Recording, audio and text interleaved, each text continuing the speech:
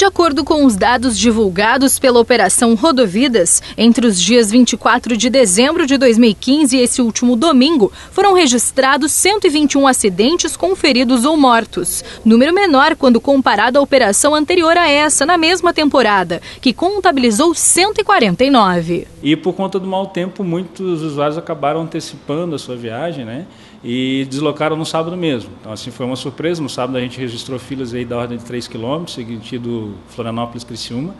E como já era previsto no domingo, também registramos filas bem aquém do que se esperava, porque a gente esperava que todo o movimento se desse no domingo. Né? Também eh, filas no máximo na ordem de 3 km. E agora na segunda-feira também, assim, no período do meio-dia, tivemos algum movimento intenso. Já o movimento nas estradas dessa vez foi calmo. As filas não ultrapassaram a 3 quilômetros. Os maiores picos foram registrados na tarde de sábado e também durante todo o domingo. Nós estamos já na nossa quinta edição da Operação Rodovida, né? A Polícia Rodoviária Federal trabalha com fiscalizações específicas e principalmente assim nesse final do ano são operações voltadas ao excesso de velocidade e alcoolemia, né, no trânsito. Então, é, a gente sempre fala que existe um grande tripé, que é a fiscalização eficiente. Quando a fiscalização está presente, é, muito desses números diminuem. Né?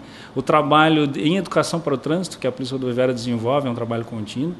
E também a gente tem a questão do usuário, né? A conduta do usuário, eu acho que ele está mais, cada vez mais alerta, cada vez mais consciente do seu papel no trânsito, que não é só responsabilidade da polícia, é a responsabilidade de todos. Em todo o estado foram 12 vítimas fatais nas estradas, uma rodovia federal.